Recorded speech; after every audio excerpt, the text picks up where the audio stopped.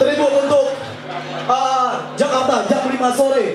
Di saat lagi macet-macetnya ada seseorang yang